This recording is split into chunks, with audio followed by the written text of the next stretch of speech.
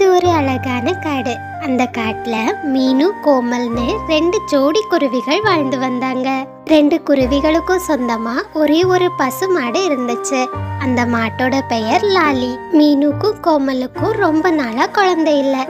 அதனால அவங்க லாலியையே தன்னோட குழந்தையா வளர்த்து வந்தாங்க. தினமும் கோமல் குருவி காட்டுல நிறைய இடத்துல அலைஞ்சு சுவையான புல்கட்டுகளை எடுத்துட்டு வரும். எடுத்துட்டு வந்த புல்கட்டுகளை லாலிக்கு சாப்பிட கொடுக்கும். லாலியும் அதை சந்தோஷமா சாப்பிடும்.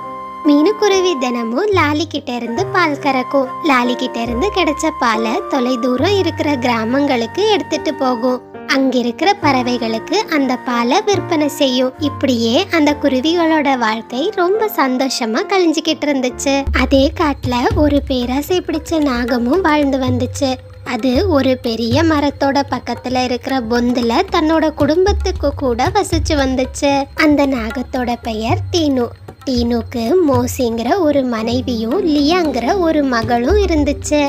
ஒரு நாள் காலையில டீனு நாகம் உணவு தேடுறதுக்காக தன்னோட வீட்ல இருந்து வெளியே கிளம்பி போச்சு. காட்டுல ரொம்ப நேரமா அலைஞ்சு தெரிஞ்சு டீனு நாகம் உணவு தேடுச்சு. அப்படி உணவு தேடிக்கிட்டே நாகம் மீனு குருவியோட வீட்டு பக்கமா வந்துச்சு. அட என்னடா இது? இவ்ளோ நேரமா உணவு தேடிக்கிட்டே இருக்கிறேன் கண்ணுல ஒரு உணவு கூட தென்படலையே. ரொம்பவும் அலைஞ்சு அலைஞ்சு நான் களைப்பாயிட்டேன். இந்த வீட்டுக்குள்ள ஏதாச்சும் இருக்குதான்னு போய் பார்த்துட்டு வரலாம். அப்படின்னு சொல்லிக்கிட்டே டீனு நாகம் மெதுவா லாலியோட வீட்டுக்குள்ள போச்சு. வீட்டுக்குள்ள வந்த டீனு நாகம் அங்க லாலி தனியா நிக்கிறத பார்த்து ரொம்ப சந்தோஷப்பட்டுச்சு. அடடா பசியா வந்த எனக்கு விருந்தே காத்துக்கிட்டு இருக்கே பசும்பால் குடிச்சு எவ்வளோ நாள் ஆச்சு இந்த மாடு கிட்ட இன்னைக்கு பசும்பால் வாங்கி குடிச்சிட வேண்டியதுதான். அப்படின்னு அந்த நாகம் பேசிக்கிட்டு இருந்தத லாலி கேட்டுச்சு. உடனே அது திரும்பி நாகப்பாம்ப பார்த்துச்சு. என்ன என்ன பாக்குற பசுவே? எனக்கு நீ ஒழுங்கா உன்னுடைய பசும்பாலை கொடுத்தா நான் குடிச்சிட்டு போயிடுவேன். இல்லைன்னா இங்கேயே உன்னை கொத்தி சாகடிச்சிடுவேன். சொல்லு பசும்பால் குடிக்கவா? இல்ல உன்னை நான் சாகடிக்கவா? அட கடவுளே இப்ப நான் என்ன பண்றது? நான் முடியாதுன்னு சொன்னா இந்த பாம்பு என்ன கொத்தி சாகடிச்சிடும். அது மட்டும் இல்ல பக்கத்துல தான் என் முதலாளி வீடு. என் முதலாளியும் கொன்னிட வாய்ப்பு இருக்கு. அப்படின்னு நினைச்ச லாலி பாம்பு கிட்ட சொல்லுச்சு. சரி நாக பாம்பே நீங்க தாராளமா என்னோட பசும்பால குடிக்கலாம். நான் எதுவும் சொல்ல மாட்டேன். அப்படின்னு லாலி சொன்னதுமே டீனு பாம்பு ரொம்ப சந்தோஷமா லாலியோட பசும்பால குடிச்சது. தன்னோட பசி தீர்ந்ததுமே டீனு நாகம் ரொம்ப சந்தோஷமா அங்கிருந்து கிளம்பி போயிடுச்சு. கொஞ்ச நேரத்துக்கு அப்புறம் மீனுக்குருவி வழக்கம் போல லாலிக்கிட்ட இருந்து பால் கறக்கிறதுக்காக ஒரு வாளியை எடுத்துக்கிட்டு லாலியோட வீட்டுக்குள்ள போச்சு. வீட்டுக்குள்ள போன மீனுக்குருவி லாலியோட பக்கத்துல கொஞ்சம் பால் சிந்தி இருப்பத பாத்துச்சு அடடா என்ன இது? கொஞ்சம் பால் கீழே சிந்தி இருக்கு லாலியோட காம்புலயோ எந்த பாலும் இல்ல. பாலெல்லாம் யார் குடிச்சிருப்பா? அப்படி மீனுக்குருவி சொல்லிக்கிட்டு இருந்த நேரம் மீனுக்குருவியோட கணவர் பிரவுனி லாலிக்கு சாப்பிடுறதுக்காக சுவையான புல்கட்டுகளை எடுத்துக்கிட்டு லாலியோட வீட்டுக்குள்ள வந்துச்சு. என்ன மீனு எதையோ ரொம்ப தீவிரமா யோசிச்சுக்கிட்டு இருக்க? என்னாச்சு? இங்க பாருங்க லாலியோட பால் கீழே சிந்தி இருக்கு அது மட்டும் இல்ல லாலியோட காம்புலயோ எந்த பாலும் இல்ல. இந்த பாலெல்லாம் எங்க போச்சு? யார் குடிச்சிருப்பான்னு யோசிச்சுட்டு இருக்கேன் அட மீனு ஒருவேளை லாலிக்கு இன்னைக்கு உடம்பு சரியில்லாம இருக்கலாம். அதனால பால் கொடுக்காம இருக்கலாம். நாளைக்கு பாத்துக்கலாம். அப்படின்னு அந்த ரெண்டு குருவிகளும் பேசிக்கிட்டாங்க. அப்படியே மறுநாள் காலையிலயும் வந்துச்சு. டீனு நாகம் வழக்கம் போல லாலி கிட்ட இருந்து பால் குடிக்கிறதுக்காக மீனுவோட வீட்டை நோக்கி வந்துச்சு. லாலி தனியா நின்னுக்கிட்டு இருந்தத பார்த்த நாகப்பாம்பு மெதுவா லாலியோட பக்கத்துல போச்சு. என்ன? இன்னைக்கும் நீ வந்துட்டியா? நேற்றுக்கே என்னால என் முதலாளிக்கு பசும்பால் கொடுக்க முடியல. இப்படி தினமும் மொத்த பாலையும் நீயே குடிச்சிட்டா என் முதலாளிக்கு நான் என்ன பதில் சொல்லுவேன் நாகமே நீ என்ன வேணா சொல்லிக்கோ. அத பத்தி எனக்கு எந்த கவலையும் இல்ல. என்ன நீ உன் முதலாளி கிட்ட காட்டி கொடுத்த உன்னையும் உன் முதலாளியும் சேர்த்து நான் சாகடிச்சிடுவேன். அப்படின்னு சொல்லுச்சு டீனு நாகம். லாலியும் வேற வழி இல்லாம நாகப்பாம்புக்கு பசும்பால் கொடுத்துச்சு. மொத்த பாலையும் குடிச்ச நாகம் தன்னோட குடும்பத்துக்கும் ஒரு வாழை இலையில கொஞ்சம் பாலை எடுத்துக்கிட்டு தன்னோட வீட்டை நோக்கி வந்துச்சு. டீனு நாகத்தோட பொண்ணு லியா அந்த பாலை ரொம்ப சந்தோஷமா குடிச்சுக்கிட்டு இருந்துச்சு. இந்த பசும்பால் ஏதுங்க? எங்க இருந்து எடுத்துட்டு வந்தீங்க?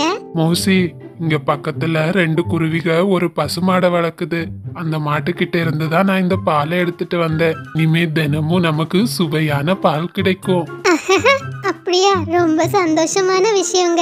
நம்மளோட பொண்ணு லியா சத்தான பாலை குடிச்சா சீக்கிரம் வளர்ந்துடுவா. அப்படி பேசிக்கிட்ட ரெண்டு நாகங்களும் தங்களுக்குள்ள ரொம்ப சந்தோஷப்பட்டுக்கிட்டாங்க. அதே சமயத்துல மீனுவும் பிரௌனியும் பால் கறக்கிறதுக்காக லாலியோட வீட்டுக்குள்ள போனாங்க. நேத்து மாதிரியே இன்னைக்கும் லாலியோட காம்புல பால் இல்லை. பாலும் கீழே சிந்தி இருந்துச்சு. இத பார்த்த ரெண்டு குருவிகளுக்கும் சந்தேகம் வந்துச்சு. இங்க பாத்தீங்களா? நான் நேத்தைக்கே சொன்னேன்ல லாலியோட பசும்பாலை யாரோ திருடி குடிச்சிருக்காங்க. ஆமா மீனு நீ சொன்னது உண்மைதான். இப்போ நான் ஒத்துக்கிறேன். இது யாருன்னு நாம கண்டுபிடிச்சே ஆகணும். இன்னைக்கு போட்டோம். நாளைக்கு காலையிலேயே நாம ஒளிஞ்சிருந்து இந்த வேலையை யார் செய்யறான்னு கண்டுபிடிக்கலாம். அப்படின்னு முடிவெடுத்த ரெண்டு குருவிகளும் மறுநாள் காலையில ரொம்ப சீக்கிரமாவே லாலியோட வீட்டுக்குள்ள போய் ஒளிஞ்சுக்கிட்டாங்க. அதே சமயத்துல டீனு நாகம் வழக்கம் போல உணவு தேட கிளம்ப ஆரம்பிச்சது. லியா குட்டி அப்பா நேத்துக்கு மாதிரியே உனக்கு ஒரு சுவையான பசும்பால் எடுத்துட்டு வரேன். எந்த சேட்டையும் பண்ணாம வீட்ல சமத்தா இருக்கணும் சரியா? இன்னைக்கு நானும் உங்க கூட உணவு தேட வரேன்ப்பா ப்ளீஸ் என்னையும் கூட்டிட்டு போங்க. ஆமாங்க நம்ம பொண்ணும் வளர்ந்துட்டா. இனிமே அவளுக்கு வேட்டையாடுறது எப்படின்னு நம்ம கத்து கொடுக்கணும். இன்னைக்கு அவளையும் உங்க கூட அழைச்சிட்டு போங்க. அப்படின்னு மோசி சொன்னதுமே டீனு நாகம் தன்னோட பொண்ணு லியாவை கூட்டிக்கிட்டு உணவு தேடுறதுக்காக அங்கிருந்து புறப்பட்டு போச்சு. லாலியோட வீட்டு பக்கமா வந்ததுமே டீனு நாகம் தன்னோட பொண்ணு லியாவை ஒரு மரத்தடியில ஒழிச்சு வச்சது. ஒரு வாழை இலைய பறிச்சு தன்னோட பொண்ணு முன்னாடி போட்டுட்டு தீனு நாகம் சொல்லுச்சு. லியா நீ இந்த இலைக்கு பக்கத்துல இங்கேயே மறைஞ்சு நின்னுக்கோ. யாரோட கண்லயும் பற்றாத. நான் அந்த வீட்டுக்குள்ள போய் யாராச்சும் இருக்கிறாங்களான்னு பார்த்துட்டு வரேன். அப்படின்னு சொன்ன நாகம் சத்தமே இல்லாம மெதுவா லாலியோட வீட்டுக்குள்ள போச்சு. வீட்டுக்குள்ள போன நாகம் அங்க மீனும் பிரௌனியும் மறைஞ்சிருக்கிறத பார்க்கல. வழக்கம் போல அது லாலி கிட்ட இருந்து பசும்பால் குடிக்க ஆரம்பிச்சது. அங்க பாத்தியா மீனு? அந்த பாம்புக்கு எவ்வளவு திமிர் இருந்தா நம்ம லாலி கிட்ட இருந்து பசும்பால் திருடி குடிக்குது. அந்த பாம்பை நான் சும்மா விட மாட்டேன். வேண்டாம் பிரௌனி அவசரப்பட்டு எதுவும் பண்ணாதீங்க. நாகப்பாம்புகள் ரொம்ப ஆபத்தானது. ஆனா கோபத்தோட உச்சில இருந்த பிரௌனியோ மீனு சொன்ன எதையும் கேட்காம நாகப்பாம்பு மேல ஒரு பெரிய வாளிய தூக்கி போட்டுச்சு. வாளி தலைமையில விழுந்ததுமே நாகப்பாம்பு அந்த இடத்துலயே பரிதாபமா இறந்து போச்சு. பாம்பு இறந்ததை பார்த்த லாலியும் அதிர்ச்சியில அப்படியே உறைஞ்சு போய் நின்னுச்சு. என்ன பிரௌனி இது? அவசரப்பட்டு இந்த பாம்பை கொன்னுட்டீங்க. மீனு உனக்கு ஒன்னும் தெரியாது. இந்த பாம்பை நான் உயிரோட விட்டிருந்தா அது நம்ம எல்லாரையும் சாகடிச்சிருக்கும். இந்த பாம்புக்கு இதுதான் சரியான தண்டனை. ஆமாம்மா ஐயா சொல்றது சரிதான். இந்த பாம்பு இத்தனை நாளா உங்களை கொன்னுடுவேன்னு என்ன மிரட்டுச்சு? அதனால தான் நான் உங்கள்கிட்ட எந்த விஷயத்தையும் சொல்லல. கொஞ்ச நேரத்திலேயே மீனுக்குருவி இழந்து போன டீனு பாம்போட உடம்ப தான் வீட்டுல இருந்து கொஞ்சம் தூரத்துல எடுத்துக்கொண்டு கீழே போட்டுச்சு. இத அந்த பாம்போட பொண்ணு லியா பாத்துக்கிட்டே இருந்துச்சு. மீனுக்குருவி ரொம்ப தூரம் போனதும் லியா மெதுவா நடந்து தன்னோட அப்பா கிட்ட வந்துச்சு. ஒரு வாழை இலையில இறந்து போன தன்னோட அப்பா உடலை எடுத்துக்கிட்டு லியா பாம்பு அழுதுகிட்டே அங்கிருந்து போச்சு. அன்னைக்கு ரொம்ப சீக்கிரமா காட்டுல இருட்ட ஆரம்பிச்சிடுச்சு. மோசியோ தான் பொண்ணு மற்றும் கணவருக்காக அந்த பெரிய மரத்துல ஏறி உட்கார்ந்து காத்துக்கிட்டு இருந்துச்சு. லியா பாம்பு அழுதுகிட்டே தான் அப்பா உடலை தூக்கிக்கிட்டு தன்னோட வீட்டுக்கு வந்துச்சு. குழந்தை லியாவோ ரொம்பவே அழுதுகிட்டு தான் பார்த்த எல்லா விஷயத்தையும் தன்னோட அம்மா கிட்ட சொல்லுச்சு. இத கேட்ட மோசி ரொம்ப கோவம் ஆகிடுச்சு லியா நீ அழாத. என் கணவரை கொன்னவங்கள நான் என்னைக்குமே பழி வாங்காம விட மாட்டேன் நாளைக்கே அந்த பறவைகளுக்கு நான் யாருன்னு காட்டுறேன். அப்படியே மறுநாள் காலையில ஆச்சு. மோசியோ தான் கணவரை கொன்னவங்கள பழி வாங்குறதுக்காக லாலியோட வீட்டுக்குள்ள மெதுவா போச்சு. யார் நீ? இங்க எப்படி வந்த? ஓ நீ தான் அந்த பசுமாடா. என் கணவர் இறக்குறதுக்கு நீ தான் காரணமா இருந்தியா? உன்னை இப்ப நான் என்ன பண்றேன் பாரு. அப்படி சொல்லிக்கிட்டே மோசி ரொம்ப வேகமா தன்னோட விஷத்தை பசுமாடோட கால்ல செலுத்துச்சு. வீட்டுக்குள்ள இருந்த மீனுக்கும் பிரௌனிக்கும் லாலி கத்துற சவுண்ட் கேட்டுச்சு. பிரௌனி லாலி ஏதோ வித்தியாசமா கத்துது. லாலிக்கு ஆபத்துன்னு நினைக்கிறேன். வாங்க இப்போவே போய் பார்க்கலாம். அப்படி சொல்லிக்கிட்டே ரெண்டு பறவைகளும் ரொம்ப பதட்டத்தோட லாலியோட வீட்டுக்கு போனாங்க. உடம்பு முழுக்க விஷ ஏறின லாலியோ கண்ணுலயும் வாயிலையும் நொர தொழுனபடியே கீழே விழுந்துடுச்சு. இத பார்த்த மீனுவும் பிரௌனியும் கண்ணீர் விட்டு கதறி அழுதாங்க. லாலி லாலி எழுந்துரு லாலி. உன்னை யார் இப்படி பண்ணாங்க? வேற யாரும் இல்ல. நான் தான் இப்படி பண்ணேன். இனிமே உங்களால உங்க லாலிய பார்க்கவே முடியாது. இல்ல வேண்டாம். தயவு செஞ்சு என் லாலிய திருப்பி என்கிட்ட கொடுத்துடு அதுக்கு பதிலா நீ என்ன கேட்டாலும் நான் கொடுக்கறேன். ஆமா பாம்பே என்ன மன்னிச்சிடு. முன் கோபத்தால நான் உன் கணவரை கொன்னுட்டேன். அதுக்கு பதிலா நீ எங்க கிட்ட இருந்து என்ன கேட்டாலும் நாங்க ரெண்டு பேரும் உனக்கு தரோம். ஓ அப்படியா? இது நல்லா இருக்கே. அப்படின்னா உங்களுக்கு பிறக்க போற முத குழந்தைய எனக்கு கொடுக்கணும். இதுக்கு சம்மதம்னா லாலிய நான் காப்பாத்துறேன். அப்படின்னு மோசி பாம்பு சொன்னதுக்கு ரெண்டு குருவிகளும் சம்மதிச்சாங்க. உடனே அந்த பாம்பு லாலியோட உடம்புல இருந்த எல்லா விஷயத்தையும் எடுத்துட்டு அங்கிருந்து போயிடுச்சு. கொஞ்ச நேரத்திலேயே லாலி பழையபடியே ரொம்ப ஆரோக்கியமா எழும்பி நின்னுச்சு. ஐயா அம்மா எனக்கு என்ன ஆச்சு? அந்த பாம்பு போயிடுச்சா? இங்க என்ன நடந்துச்சு? அப்படின்னு லாலி கேட்டதுமே ரெண்டு குருவிகளும் நடந்த எல்லா விஷயத்தையும் லாலி கிட்ட சொன்னாங்க. இத கேட்ட லாலியோ ரொம்ப கஷ்டத்தோட கதறி அழுதுச்சு. ஐயா அம்மா எதுக்காக என் உயிரை காப்பாத்துனீங்க? ரொம்ப நாளா உங்களுக்கு குழந்தை இல்லை. இப்போதைக்கு என் உயிரை காப்பாத்துறதுக்காக பிறக்க போற உங்க குழந்தைய நீங்க பலி கொடுத்திருக்கிறீங்களே? லாலி நீ அழாத. நீ தான் எங்களுக்கு முத குழந்தை. உன் உயிரை தான் எங்களுக்கு முக்கியம். உனக்காக நாங்க ரெண்டு பேரும் என்ன வேணா செய்வோம். இந்த மாதிரியே கொஞ்ச நாட்கள் கடந்து போய்கிட்டு இருந்துச்சு. ஒரு நாள் மீனுக்குருவி தன்னோட வீட்டில் ஒரு முட்டையை இட்டுச்சு. தன்னோட குழந்தைய அந்த பாம்புக்கு கொடுக்க போறோன்னு நினைச்ச மீனுக்குருவி ரொம்ப வருத்தத்தில் இருந்துச்சு. இந்த மாதிரியே கொஞ்ச நாட்கள் கடந்து போச்சு. ஒரு நாள் அந்த முட்டையிலிருந்து ஒரு அழகான சின்ன குருவி வெளியே வந்துச்சு. என்னங்க நம்ம குழந்தை எவ்வளோ அழகா இருக்கா பாருங்க. இந்த குழந்தைய அந்த பாம்பு கிட்ட கொடுக்க எனக்கு மனசே இல்லைங்க. அழாத மீனு நாம நம்ம குழந்தைய தியாகம் பண்ணி தான் ஆகணும். இல்லைன்னா அந்த பாம்பு மறுபடியும் நம்ம லாலிய கொன்னுடும். நான் செய்த தப்பால எல்லாருக்குமே இப்ப கஷ்டம் ஆகிடுச்சு. இந்த மாதிரி தன்னோட எஜமான்கள் பேசிக்கிட்டு இருந்தத ஜன்னல் வழியா லாலி கேட்டுடுச்சு. இத கேட்ட லாலி ரொம்ப வருத்தத்தோட கதறி அழுதுச்சு. என்னால என் எஜமான்களுக்கு எந்த கஷ்டமும் வரக்கூடாது. நானே அந்த பாம்பு கிட்ட போய் இதுக்கு ஒரு வழி பண்றேன். அப்படின்னு சொல்லிக்கிட்டே லாலி ரொம்ப வருத்தத்தோட அந்த பாம்போட வீடு இருக்கிற திசையை நோக்கி போச்சு. நரியண்ணே மூசிங்கிற ஒரு பாம்போட வீடு இங்க எங்க இருக்கு? இப்படியே நேரா போனா ஒரு பச்சை மலை வரும். அந்த மலை அடிவாரத்துல ஒரு பொந்து இருக்கு. அங்கதான் அங்க பாம்பு இருக்கு. பார்த்து அது ரொம்ப மோசமான பாம்பு. அப்படின்னு சொல்லிச்சு குள்ளநரி. லாலியும் குள்ளநரி சொன்ன இடத்த நோக்கி போக ஆரம்பிச்சது. லாலியும் ரொம்ப தூரம் நடந்து குள்ளநரி சொன்ன இடத்துக்கு வந்து சேர்ந்துச்சு. மூசி பாம்பே மூசி பாம்பே நான் லாலி வந்திருக்கேன். தயவு செஞ்சு வெளியே வாங்க. நீயா நீ எதுக்கு இங்க வந்த? மரியாதையா உன் எஜமானோட குழந்தைய இங்க அனுப்பி வை. இல்லைன்னா நான் வந்து உன் எஜமான சாகடிச்சிடுவேன். நான் தான் இந்த எல்லா பிரச்சனைக்கும் காரணம்.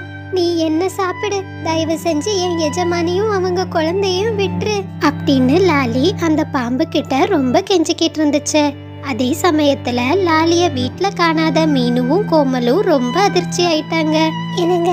லாலி நிச்சயமா அந்த பாம்போட வீட்டுக்கு தான் போயிருக்கணும். என் கூட வாங்க. நாம லாலிய போய் காப்பாத்தியே ஆகணும். உடனே மீனுவும் பிரௌனியும் தன்னோட குழந்தைய தலையில தூக்கிக்கிட்டு அந்த பாம்பு இருக்கிற இடத்த நோக்கி வேகமா போனாங்க. மூசி பாம்பே இந்தா இது என்னோட முதல் குழந்தை. நீ கேட்டபடியே உன்கிட்ட நான் கொடுத்துட்டேன். என்னோட லாலிய என் கூட வீட்டுக்கு அனுப்பி வை. முதலாளி அம்மா நீங்க ஏன் இங்க வந்தீங்க? உங்க குழந்தைய தூக்கிக்கிட்டு இங்க இருந்து போயிடுங்க. நான் பாத்துக்கிறேன். பாம்பே நீ முதல்ல என்ன கொன்னுடு. என் முதலாளி அம்மாவும் என் எஜமானும் நல்லா வாழணும். அவங்க எப்பவுமே சந்தோஷமா இருக்கணும். இது எல்லாத்தையும் கவனிச்சுக்கிட்டு இருந்த பாம்பு திடீர்னு ஒரு ராஜ மாணிக்கத்தை எல்லார் முன்னாடியும் வச்சது. என்ன பாக்குறீங்க? நீங்க ஒருத்தர் மேல ஒருத்தர் வச்சிருக்கிற அன்பை பார்க்கும்போது எனக்கு ரொம்ப சந்தோஷமா இருக்கு. பிரௌனியோட அவசர புத்தியால தான் என் கணவர் இறந்தாரு. ஆனா உங்களோட அழகான குடும்பத்தை பிரிக்கிறதுக்கு எனக்கு எந்த மனசும் வர மாட்டேங்குது மீனு இந்த மாணிக்கத்தை புதுசா பிறந்த உன் குழந்தைக்கு நான் ஆசீர்வாதமா கொடுக்கறேன். அப்படின்னு சொல்லிச்சு மோசி பாம்பு அந்த குருவி குடும்பம் மோசி பாம்புக்கு நன்றி சொல்லிட்டு ரொம்ப சந்தோஷமா தங்களோட வீட்டை நோக்கி போனாங்க. அன்னையில இருந்து மீனு பிரௌனி லாலி மீனுவோட குழந்தை நாலு பேரும் ரொம்ப சந்தோஷமா அந்த வீட்ல வாழ்ந்தாங்க.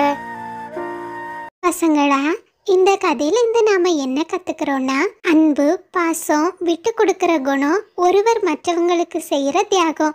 இது எல்லாம் இருக்கிற குடும்பத்தை எந்த சக்தியாலையும் பிரிக்க முடியாது. நண்பர்களே இது சப்ஸ்கிரைபர் விருப்பத்திற்கான நேரம்.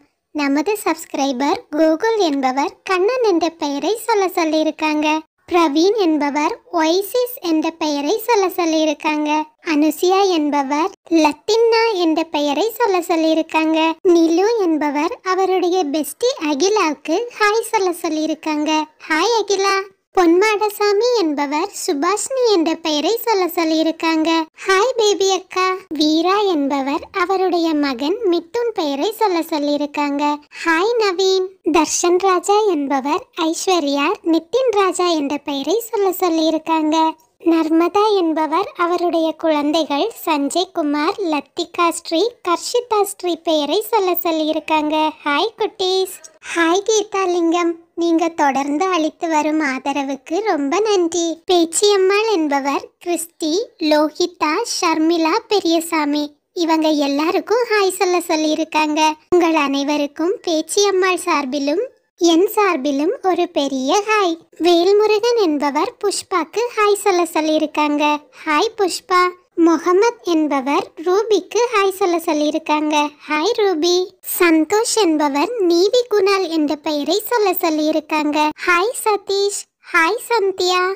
ஷர்மிளா என்பவர் சுரேஷ் அபிராஜா அபிராமன் அபிராணி அபிலேஷ் எல்லாருக்கும் ஹாய் சொல்ல சொல்லியிருக்காங்க. உங்கள் எல்லாருக்கும் சர்மிளா சார்பிலும் என் சார்பிலும் ஒரு பெரிய ஹாய் ரோசி என்பவர் தர்ஷியா யோக தர்ஷன் என்ற பெயரை சொல்ல சொல்லியிருக்காங்க. அபி என்பவர் அவருடைய மகன் ரஷ்வந்துக்கு பிறந்த நாள் வாழ்த்துக்கள் சொல்ல சொல்லியிருக்காங்க.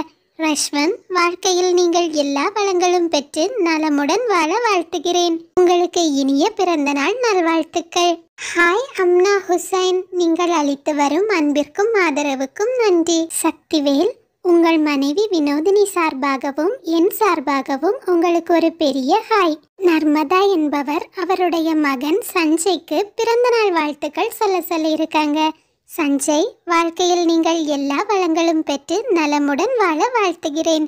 ஹாப்பி பர்த்டே பிரியதர்ஷினி என்பவர் மது என்ற பெயரை சொல்ல சொல்லியிருக்காங்க. ஹுசைன் அவங்களோட அம்மாக்கு பிறந்த நாள் வாழ்த்துக்கள் சொல்லியிருக்காங்க.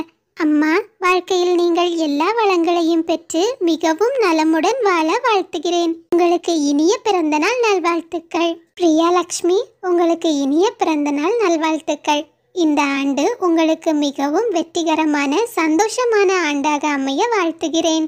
Paranika Pavanya. All the best for your exams hi Subiksha hi Madhusuna hi Nisha குட்டி நீங்கள் அனைவரும் அளித்து வரும் அன்புக்கும் ஆதரவுக்கும் மிக்க நன்றி.